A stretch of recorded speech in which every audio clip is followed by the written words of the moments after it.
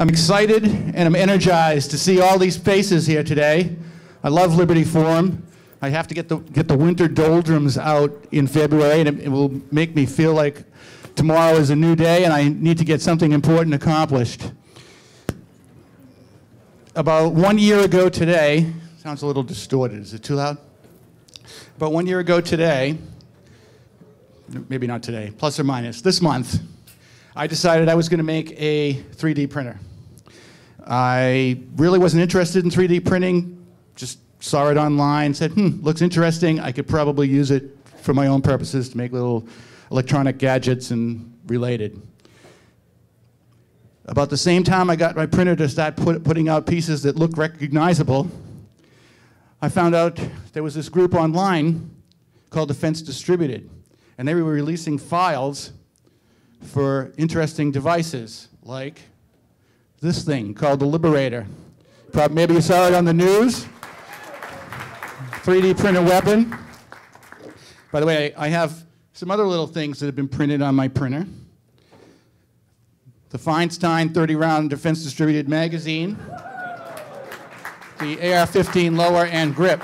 I'm going to pass these around the audience. They're perfectly safe. They haven't been, there's no parts in them, just so you can see what it's like. So, at about the same time that came out, I said, hmm, I wonder if my printer is capable of doing this. I really wasn't that interested in printing guns, but I said I'm going to try it. And I knew PorcFest was coming up. And uh, 24, two days approximately and 24 hours of printing later, the parts were completed for the Liberator, for this. And I was amazed because I couldn't believe that you could print a plastic spring that would have enough power to fire a, a, a, primer, okay? But you can. And I built this nearly a year ago, and it still works fine. And it was the first Liberator made in New Hampshire. Some people say it might be the first Liberator made in the wild. And I, it, its picture was taken two days after the files were released, and they were put online by uh, some other members of the Free State Project, and they gained a lot of traction really fast. And I'm thrilled to be here with this gentleman right here who is responsible for those files, uh, a self-described crypto-anarchist who other people have called a gun nut, uh, a genius, a patriot, and a provocateur. Mr. Cody Wilson made it possible for all these files to be available to any one of us and he's someone who understands that an idea whose time has come, which I love this phrase, cannot be stopped. So let's keep the ideas of liberty moving, and let's give a warm welcome to Cody Wilson.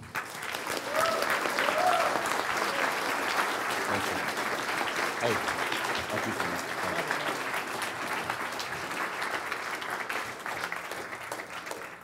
guys, thanks.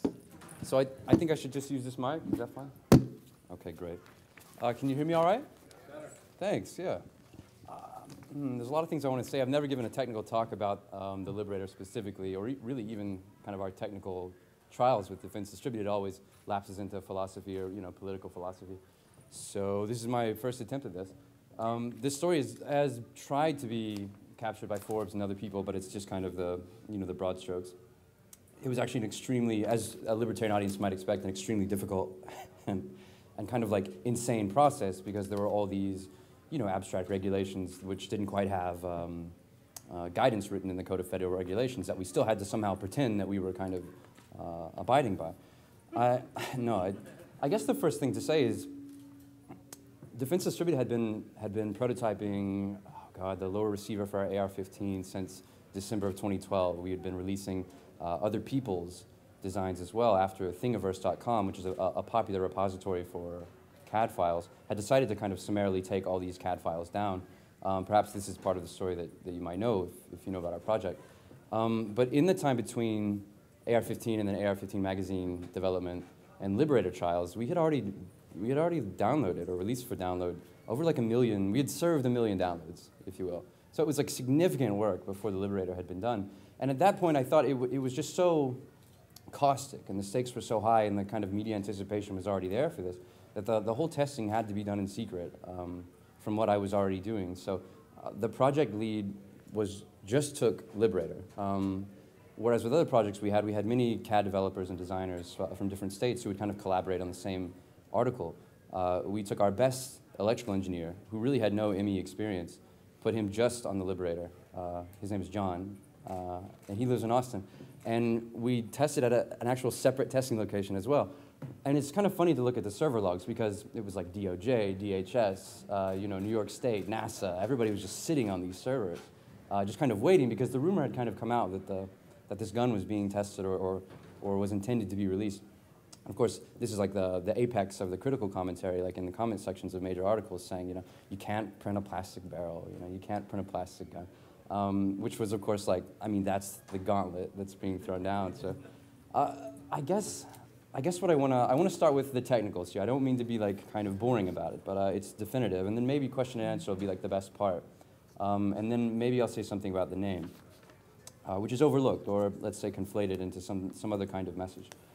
Um, any like critical remarks I'll have about the media re reception or kind of um, the activism endemic to this process or imminent to it, I guess I'll save for my, my talk tomorrow, which I invite you to attend.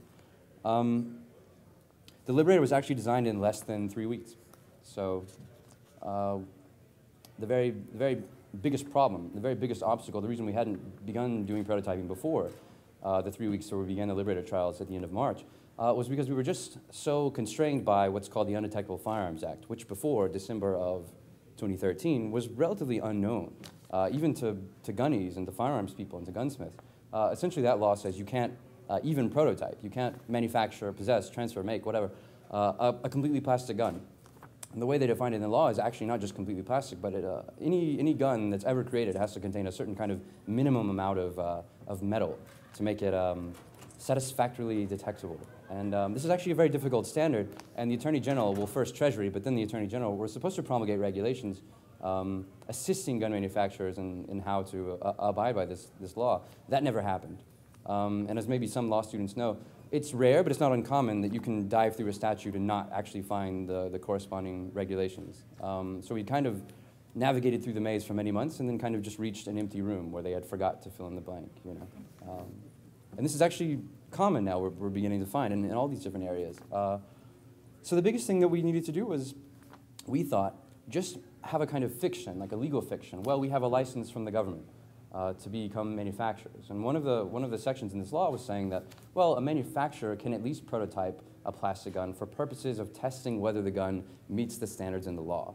One of these like circular uh, kind of reasoning. So if we could just become a kind of uh, you know, federal manufacturer with a, with a class two stamp, well, we were just testing for legality, Mr. Holder. You know, we just wanted to see. I mean, you, you have to have the fiction in the back pocket, you know. My, my extreme fear, I mean, this is when, when Greenberg and other people finally came down to the, to the warehouse to see what we had. I was like, look, our strategy is over compliance. You know, we wanted to be telling them about the law by the time they had kicked in the door. I don't know if that's realistic or not, and especially the, the way I'm critical of other people, how, how they kind of um, bend the knee to the law. Uh, maybe I should have been a bit more cavalier. And it would have been interesting to do this maybe in another legality or with another team of people in a different country, but uh, I, I thought there was also a kind of, I don't know, like a critical value in, in doing this and going to the extreme of doing it in the United States, where we know that the legal structure is just like, it's imperative is that you not do this. You know, only, a, only an insane person would attempt this within this kind of legal structure. Um, I'm getting a bit off topic. So basically, it was designed in three weeks. At the end of March uh, 2013, for one of those weeks, I was in New York at a conference where Avi Reichental of 3D Systems and a, a, number of the kind of consensual capitalist players in, in the 3D uh, the 3D space were saying, oh, don't worry about the 3D gun, you know, it's not going to happen, it's not possible. Uh, and th this was like actually in the keynote, you know, and, and, this was a kind of traveling prospectus, this conference series. It's called Inside 3D. I think it's still kind of ongoing, um, where they kind of invite, um, oh, you know, the uninitiated capitalist who like wants to, oh, what is this 3D printing right for me? You know, like, uh, can I make some money on this? And um, basically the message there was, you know, they've, they've done as much as they're going to do. Uh, nothing else is going to happen. Well, that, the day before I got to New York, we had, in the, um, in the kind of deserts of Lockhart, we had just tested our first Liberator barrel. And the way we did it, this was, I think, maybe the critical move, because for many months we hadn't answered the question, even to ourselves, can you print an all-plastic barrel uh, for a common gun with, with common firearms, like, you know, ammunition commonly available? Uh, yeah, you can make a custom cartridge, but that's not as sexy as doing something around a 22 or a 38 or 45. Um, and that was, of course, like a very political and necessary question to ask. I mean, it's one thing to make a kind of gun in theory, but it's another thing to be like, look, I have a, I have a pistol that can shoot uh, 380.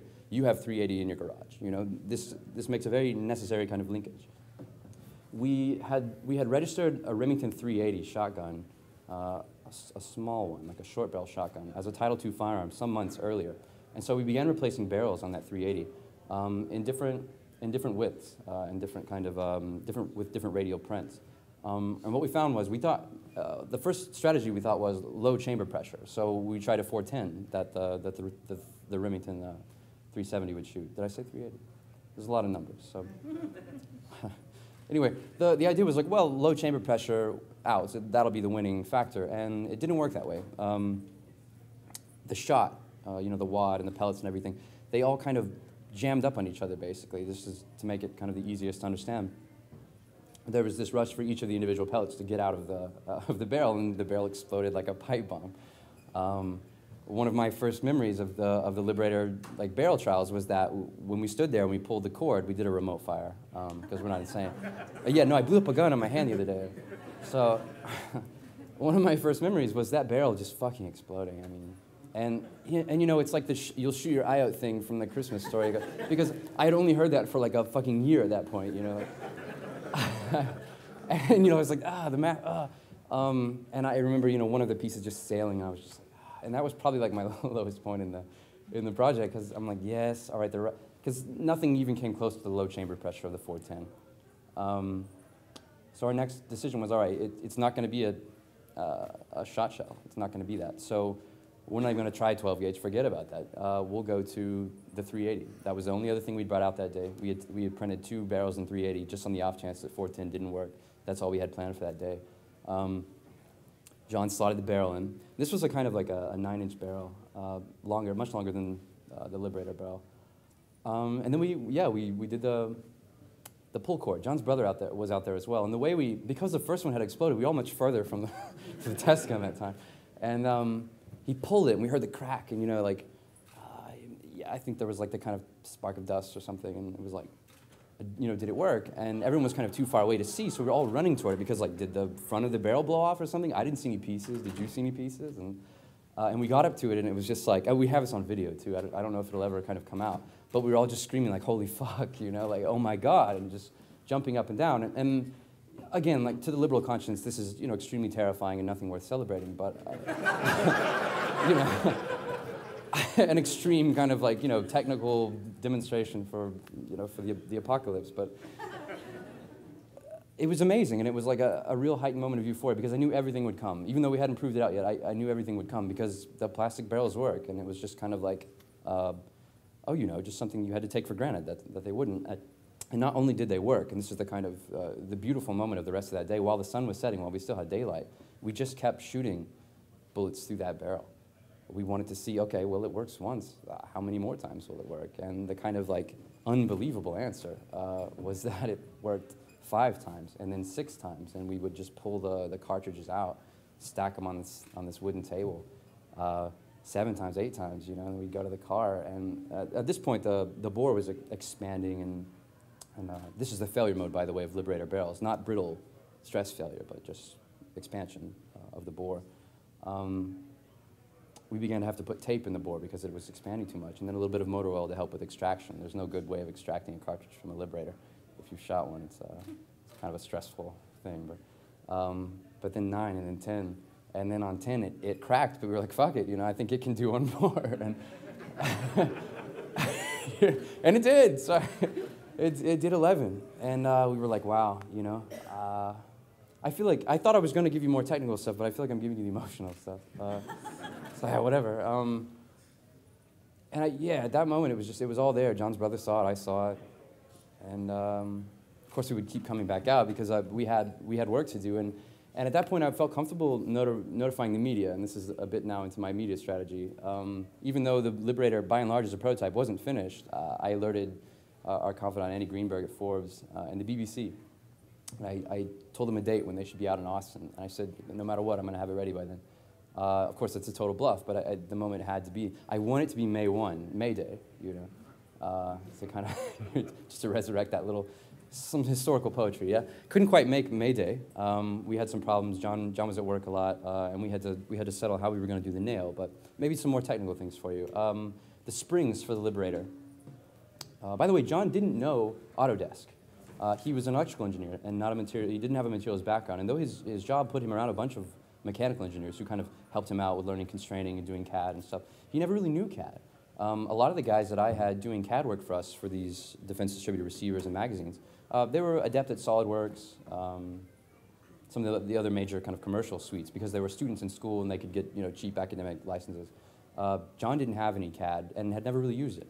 Uh, but because I just trusted his intuition so much, he was so educated and so committed. This guy is a guns guy guns guy. You know what I mean? Like uh, he carries everywhere. It has him just like in his car and like in his, everywhere he is, there's a gun kind of somewhere available. You know. Um, he taught himself how to do the Liberator as his kind of first CAD project, and I thought, though we didn't really emphasize it then, I think it is a testament to how easy this technology is to learn and to do, um, which is itself a kind of terrifying realization for the progressive, kind of dependent upon the expensive assets of production, you know, and cultural production. No, anyone can download these softwares and familiarize himself with these, with the means of these productions, um, you know, to their benefit. So one of the most difficult at the time aspects of uh, low-end 3D printing, printing a gun, was done by a novice, even though he had, you know, some educational advantage.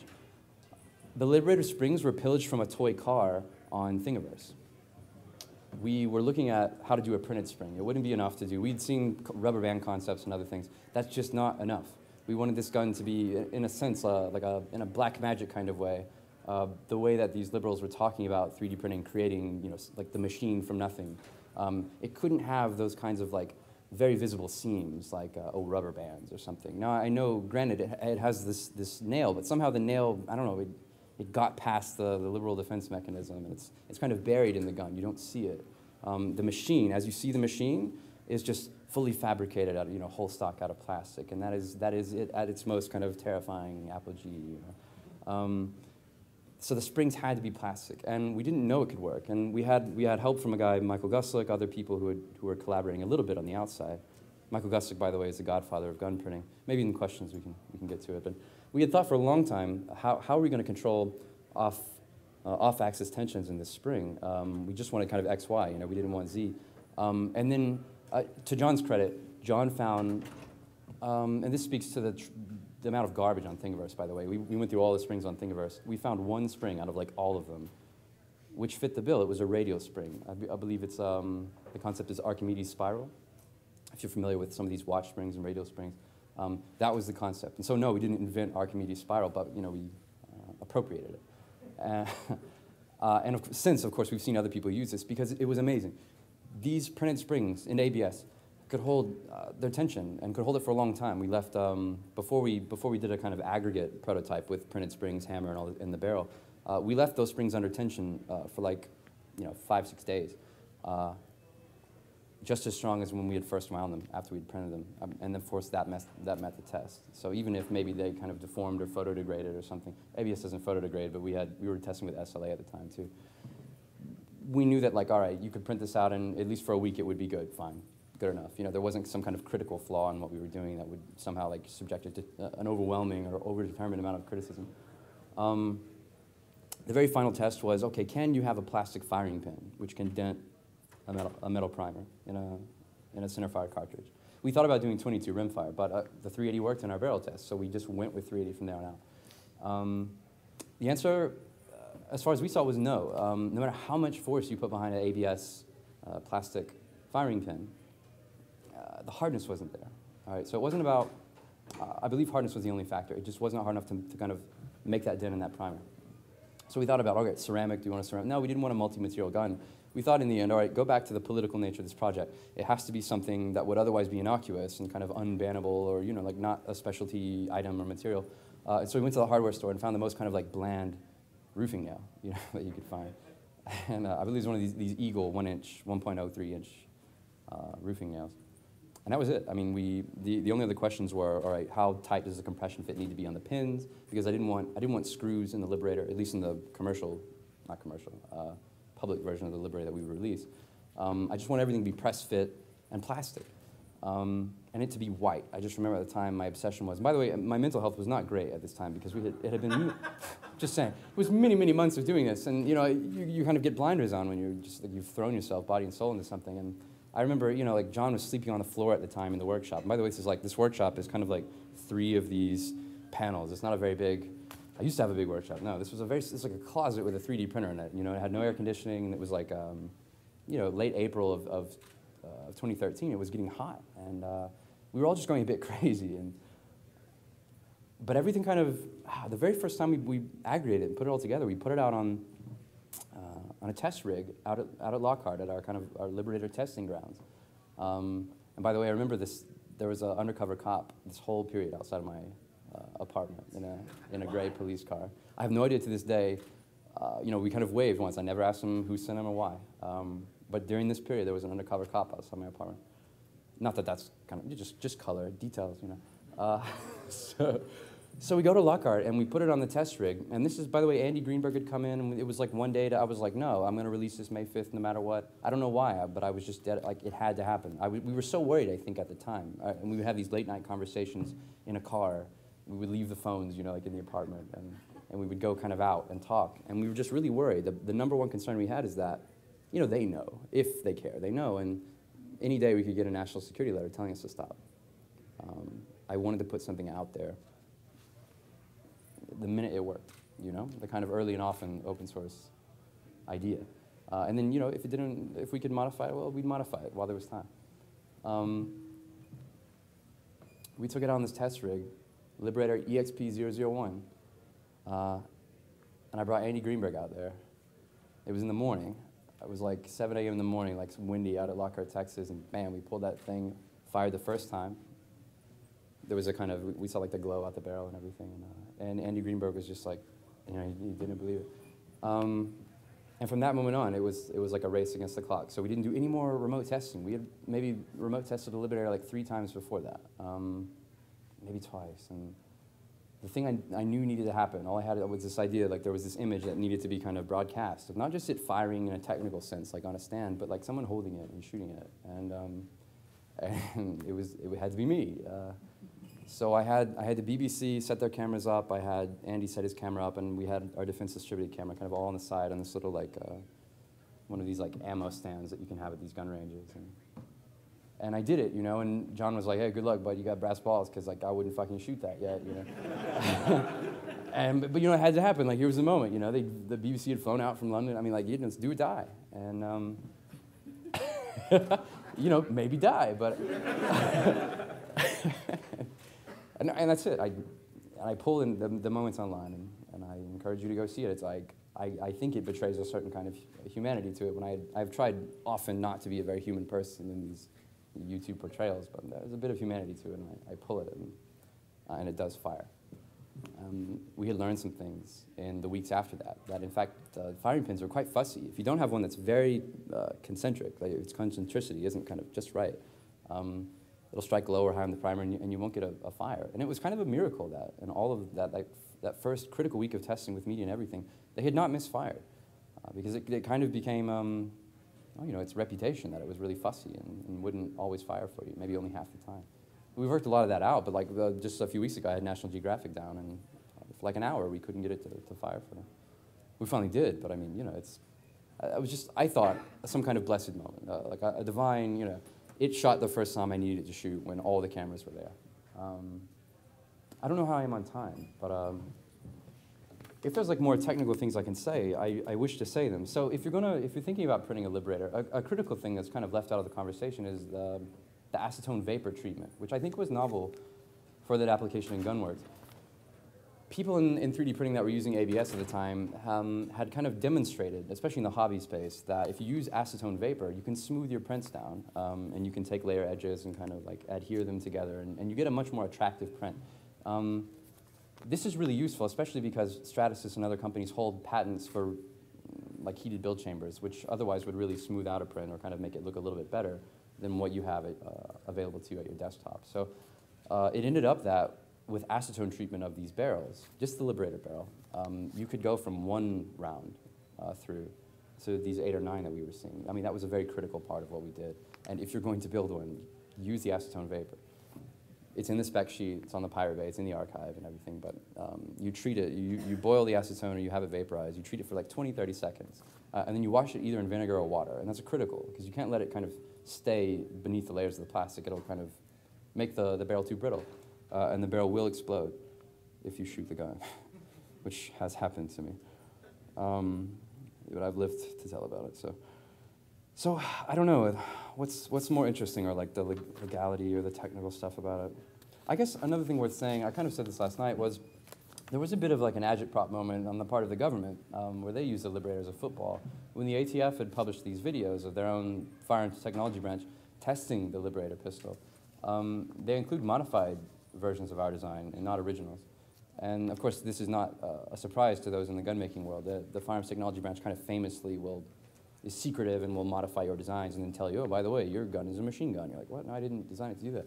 I'm like, oh, sorry, you know, you can't go to market with your gun. Um, and what they did for ours, and you can, you can see this. Thankfully, they've preserved the evidence on video, but they printed one Liberator in a PLA plastic uh, because MakerBot and some of these other commercial printers, um, they have offerings available in PLA plastic. Now, we print Liberators in ABS plastic. This is not a small distinction. Um, in fact, Liberator springs in PLA don't even function. They, they're too brittle. Uh, you can't even get a Liberator. Even if you wanted to die and blow the gun up, you couldn't do it. Um, so what the ATF just what the ATF did uh, was print a, a, PLA body and then modify. They took the sidewalls off and put in modified springs. I don't know how they did it. They seem to have like really stretched and widened the springs. And I am not sure if they're still in PLA. They might actually be like an epoxy spring that just kind of matches the visual, you know, milieu or whatever.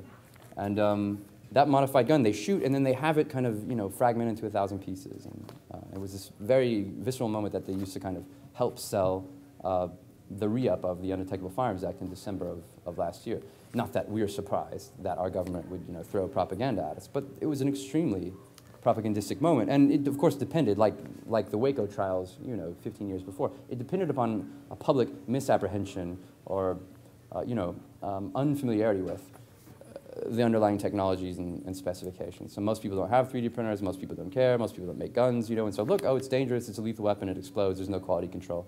You know, it's all in service of a progressive idea of gun manufacture. Um, well, we need responsible manufacturers that license their products and perform them to government-mandated testing specifications, you know, blah, blah, blah. Um, I, th I think, though, regardless, we've done critical damage um, to a couple, a couple different narratives. Um, one of them a progressive narrative about what the future of manufacturing was and is. You know, the whole gun conversation after Sandy Hook depended upon an idea of registration. The familiar shit from the 90s, you know, registrations and these certain channels and constrained channels of, of production and, and, and commerce and background checks and this kind of linking with the public health issue. I mean, that, we exploded with this networked idea of, of manufacture, digital manufacturing, network devices, you know, a tumultuous fall in the cost of the means of production, you know, all will be makers. Um, I, I, think it did really irreparable harm, and, and will continue to do that. Um, yes, I'm, in, I'm currently like in, embroiled in this conflict, for lack of a better word, with the State Department. Um, I would want nothing more than to continue to publish and to aggregate uh, these files for these guns, these feasible gun files for you, and, and to publish them. Now, some people kind of um, behind the scenes, pseudonymously, are continuing to do that. Um, and they are great people for doing that. But there's so much more we can do. I mean, the Liberator was the very first prototype of a certain kind of gun that we had done. And yes, it's an impractical device. But to give you a kind of you know, preview of things to come, I mean, we were experimenting with sintering in nylon 6 and nylon 12. Not that these are dramatically better in material uh, properties than, than the Liberator, but they're so much more interesting and can do just different things. And of course, there have been announcements for, for desktop printers like the Mark I, of which Defense Distributed has acquired uh, a developer kit, uh, at least pre-order, that prints in carbon fiber, which of course has similar material properties to aluminum uh, at least in its you know tensile strength and, and other kinds of like impact strength. So I mean, we're going to have we're on the cusp of having immediately, not just these technical proofs of the future that we imagine, but like literally the kind of immediate instantiation of the future we imagine. And, and what's so much more beautiful to me is that a, a fully carbon fiber liberator or some variant of that remains undetectable by metal detector. Bonus. So, uh, I guess a point on that. Yeah, this was supposed to be a technical talk, but here we are. So a point on that. There was this kind of like grand conflation with detectability versus observability. And the conversation I wanted Defense Distributed to have, and I think by and large successfully did have, was one about power and observability and the kind of grand bureaucratic regulatory imagination uh, that all things will be known and seen uh, and kind of, um, oh, you know, the prior approval, uh, you know, grand diktat. So uh, like in California, there's this idea now that, uh, oh, don't you know, some people can create guns without first the approval of the Department of Justice. You know, they should, these ghost guns can kind of come out, as it were, out of nowhere, and we don't know who makes them. ghost guns, no, look it up, it's a, it's a real concept. Ghost gun stories, you know. Uh, no, no, I've had so much fun with the kind of like phantasmic na nature of this. But I, I, do believe there's actually a kind of, um, there's more to write there. Maybe, oh, I have a book. If you read the book, maybe it'll be in the book.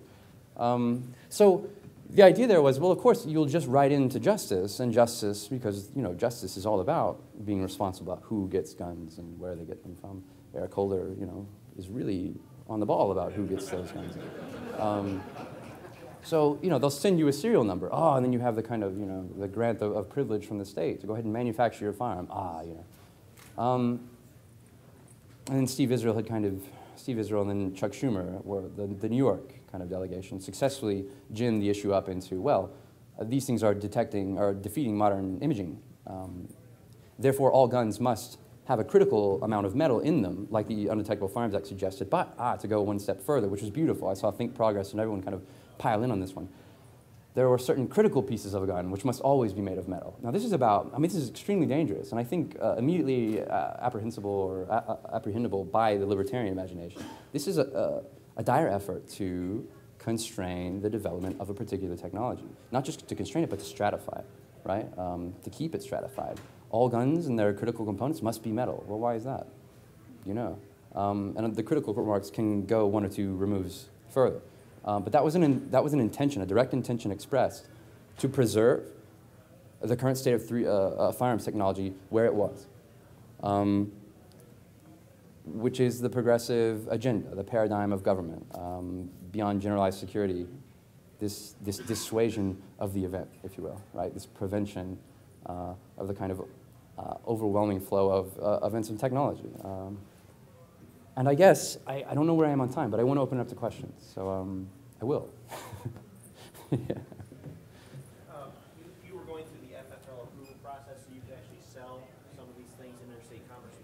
Okay, so FFL is a federal firearms license. He's asking, did I get an FFL so we could participate in commerce? No, actually. Uh, it's just that a nonprofit company can't also be an FFL holder. You have to um, act like you're a business. And you, uh, so I actually had to create a subsidiary and register that subsidiary as an FFL. And of course, they on the ATF on the phone with me was like, oh, we know what you're doing, you know, and you know a nonprofit can't have it. And I was like, no, no, no, check the application. like, I didn't apply as defense distributed, you know, you motherfuckers. And so. but, I'm, but I'm serious, you know. it was a tense conversation. And Of course, like at every step, the, these like these little micro kind of aggressive encounters. It's like you know we know what you're doing. You know, stop. And like, no, you know. You, and so no, uh, uh, there was this. I think Vice made a, a bigger deal of it. Uh, Aaron was like, Aaron, the producer of that Vice documentary, if you saw it on, on Defense Distributed, was like, why, why are you getting FFL? And I was like, oh, Liberator Trials, you know, like SOTs, you know, if we have this kind of, if we can make Title II firearms, Eric Holder can't come arrest us, you know, we can prototype almost any kind of abstract gun technology. And she was like, yeah, but you can sell them too, right? I was like, yeah, we can sell them. And have we today? Uh, no, we haven't. Um, I don't know why. I, I, I think mostly it's because 3D printing, let's be honest, I'm not the biggest 3D printing evangelist, but 3D printing is not really a mass production technology. Um, I'm sure there's a price point I could set to where it might be worth my time, but it's actually a bit higher than I'm sure anyone in this room would be willing to pay for some of these articles. Um, and then again, there was a, another effort in trying to protect ourselves from this kind of commercial talk, especially now that we're involved in this thing with the State Department. Traditional First Amendment claims, which are our primary claims uh, against this aggression from the State Department, we have a right to publish this information directly into the public domain without first seeking the prior approval of the government. This is, seems like standard First Amendment talk, right? Um, to make that claim the most effectively, we can't also be a commercial operation. Um, Many people have tried to do that in the past. Commercial arms exporters say, well, I have a First Amendment right to share my manual with the French or to share my manual with South Africa. You know, and I go, eh, nah, not so much. The Supreme Court says, well, you know, your speech doesn't rise to the level of protected speech. Your speech is commercial speech. So that was a, a kind of defense mechanism that I, I, was at least prescient enough to see then, uh, and I've tried to maintain now. Yeah. Oh, a microphone. So I'm assuming most people in the room have not yet printed uh, one of your guns. Surely not, Uh, let's say we want to get started. What are the steps? What are the equipment? You know, Yeah, maybe yeah, A, a ballpark Okay. of uh, prices. I'm, I'm sorry, I didn't. I should have said more of these things. I just I kind of lapsed into just talking about the kind of more abstract things. The Liberator was printed on a Stratasys Dimension SST. Uh, it's a machine from 2005. It was like the uh, I think the first generation of its name. Uh, these printers have gone on to become the Uprint family of Stratasys printers. Um, there's a heated build chamber. I believe it's 8 by 8 by 13 is the, the build volume. And um, it's as big as like a refrigerator. I mean, it's like a big, you know, printer. It's expensive. We bought in the secondary market. It was a little bit broken. We, we fixed some things on it. We bought on eBay uh, because maybe, as you, as you know, I couldn't really buy things from Stratasys because they have a habit of like not selling me things and taking things away from me. uh, so uh, also in, in servicing that printer, it was a, it was a, a shit show because um, we couldn't give any indication that we were defense distributed. So when we would have the Stratasys people come out and look at it, I did it through a surrogate and I, I hid it in a different part of this warehouse we were in, like in, the, in an auto shop, and we kind of pretended that it was a, a car company. you know, I mean anything we could do to kind of um, all these little oh god man, it's like bringing it back. I hadn't even thought of it. So. I would recommend something with a heated build chamber, but I've seen people do uh, liberators on Solidoodle printers. Uh, I've seen them do on, on their own custom rigs, uh, like, like Builder, who introduced me. Um, anything that can print ABS plastic. Don't kind of go out and get a, a, a new generation MakerBot, because it only prints in PLA, is my understanding. And um, I wouldn't recommend it. I guess the other critical things I should say is if you're really interested in printing a Liberator, I, I think, again, I wouldn't recommend you doing kind of serious testing with it. Uh, but then again, if you're intrepid, you know. Um, but if you just kind of want to print one for yourself and do it uh, you know, to spec like, like Defense Distributed had done, find the archive on the Pirate Bay or, or somewhere else online, and, and, it's kind of an exhaustive step-by-step uh, instruction. Um, and we'll tell you the materials we use and the things that we can only recommend that you do because that's all we did. And I've only ever tested liberators, printed liberators from old 3D systems, uh, SLA uh, epoxy resins, uh, and ABS plastic. So um, in many ways, uh, other people in the world have kind of probably tested far and beyond uh, what we have with, with Liberators. I had to kind of stop using all of our money on materials because I, my legal bills were the very biggest and continue to be the, the kind of biggest part of defense distributed. Yeah. You've mentioned the thing with the State Department. I, Uh-huh. could you give us any clue of what's going on with your legal stuff and Yes. problems and Yes. any comments or Well, stories? For the very first time last weekend, I was at this conference in Arizona. Uh, It was the very first time I talked about it. I kind of, for many months, I didn't want to. I didn't want to say anything about it or what we had done or the legal team we had got together. I wanted to kind of preserve it as like a, at least a, oh, you know, for its explosive potentiality. Like people would tell each other about it when the time came when we needed to tell people. Um, so if you don't mind, I'm kind of going to keep some of that like uh, under under wraps. But to date, the State Department's actually sat on it, like. Okay, okay, let me, I'll go back. So the State Department issues me a letter, and for the very first time in American history, they, well, the history of export control law, whatever, um, they issue, they, they put in writing an express policy, which is, before you put this kind of technical data into the internet, onto the internet, this would require our permission. Uh, you didn't seek our permission. Please fill out, you know, this extremely large amount of paperwork called the commodity jurisdiction request about how you decided that you shouldn't ask our permission. I, and you have to have a sense of humor about it, you do. But um, I, thankfully, I was able to lawyer up very quickly. I had made a number of connections in the months of, uh, of our kind of you know, heightened popularity and our, our most productive work. Um, and that team, by and large, remains the same team. Um, and to date, I've been able to kind of shoulder the legal bills. But the State Department requests of us all of this information, uh, which, of course, in this ironic, like Kafkaesque sense, is the only way that they could even make a determination that we've kind of broken some law. So we give them the kind of um, stuff of which they fabricate an, ex, an ex post facto determination that there has been some kind of breach, you know, of um, you know some legal taboo or something, uh, or a breach of what's called the International Traffic in Arms Regulations, a set of regulations which govern the Arms Export Control Act of whatever 1978. One of the kind of interesting and Orwellian features about this set of laws is that since I think 1984 this law hasn't been updated to accommodate for the, the simple fact that there is a thing called the internet. you know? Um, it accounts for an idea of the public domain, which is like a very reductionist in scope. I mean, um, libraries and, and, conferences and things. So if I came here and kind of passed out liberators, it might be a more interesting legal argument than if I had directly published into the, into the internet. So we're at the kind of um, nexus of a Cold War like legal structure, and then also you know the, um, the 21st century structure of, of the freedom of, of information uh, and the internet. I'll say, I guess, maybe one more thing about all this, which is that maybe I won't say it actually. well, You are claiming it's freedom of speech to release these files. They're saying no, you need permission from us before you can talk. okay, right? one of the one of the primary arguments we will make if we have to make them because we're not even to and you you get the this is the kind of absurdity of the bureaucracy we're only in the administrative matters right now. We're not even to the point where we can make a constitutional argument. You know we have to kind of go through this could be a multi-year thing and I, and I regret that very much which is why I've taken steps to kind of retool our operation. We're in a kind of stable zone right now. So we might begin printing again even if we can't release the files. But yeah state state has basically said and okay this is a critical piece of information you should probably know. I'll tell you now. Okay. You think you have the freedom to keep and bear arms, all right? And this is something, uh, especially a Second Amendment type, and I don't mean to generalize, you know, about people here, but uh, especially red state conservative type, you know, like that. I hold that near and dear to me. As long as I can hold the, you know, cold gunmetal in my hands, you know, I, I have something very material, which is a confirmation to me that my firearms rights are preserved. Well, what you didn't know, and what this case can eventually show, I, I hope on a, on a grand public way, through the New York Times, other things too. I mean, I'm working on it.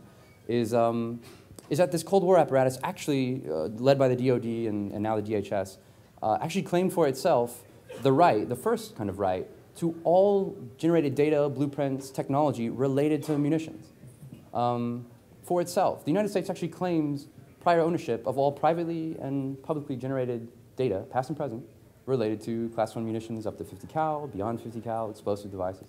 So though you might have the right to keep and bear arms, the smart ACLU liberal will tell you, well, you know, you, might, you don't necessarily have the right to buy them. You don't necessarily have the right to make them. You don't necessarily have the right to talk about making them. So now you know. and of course, this is not just a, a, theoretical argument. This is the argument currently being asserted by Obama's State Department.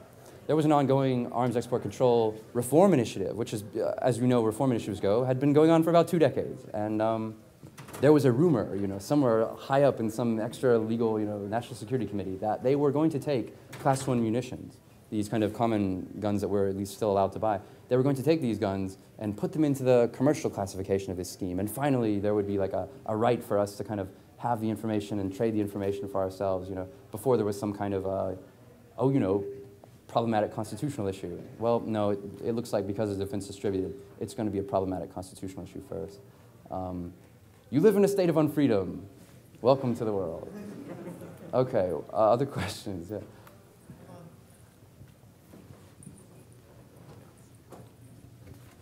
So to most of us gun nuts out on the internet, the 22 long rifle yeah. seemed like the natural place where you were going to start. Yes. Could you speak to why you said you started with the centerfire cartridges? I think yes. it was the 380. Why not start with the the much smaller chamber diameter and pressure of the 22 LR? I'll say I'll say a couple things about that. Uh, our very first defense distributed video, that god awful thing where I just talked for eight minutes about why I want to do it. Everything. I um, 22LR was the first thing we wanted to do, and it just seemed natural. Um, now, there is a kind of interesting anomaly in its chamber pressure, which can be like remarkably high for such a kind of you know, constrained caliber. Um, we ended up not doing any testing with it. It was just pure kind of happenstance. So we came out one day with a 410 test, and John had tested, uh, he'd actually printed some 380 barrels. It was literally the first thing that worked. The first break we had, we chased the break, you know, a kind of path of least resistance. Now, um, there was a fulfillment of a kind of uh, 22 Liberator in this gun developed by a Canadian in the summer of, of last year. Uh, he called it the Grizzly. And if you, if you look for it, there's some critical links from Reason.com and some other places. It's basically a 22 Liberator carbine. Uses Liberator springs, a different barrel, a superior locking mechanism, actually. Um, an all-around better gun, and I, I, think a more reliable gun, too. So um, 22 would have probably been the best thing to test uh, because it seems to work naturally and, and, like a charm, especially for this guy. I think he tested like 30 or 50 in a row or something. Um, it just, that was our first prototype. And, you know, we were a victim of our own success because it was just this raucous media event in the UK and then the State Department came down on us before we could do anything else. Um, I hope that answers your question. Other, I don't mean to take up time. Do we have time? Okay, yeah.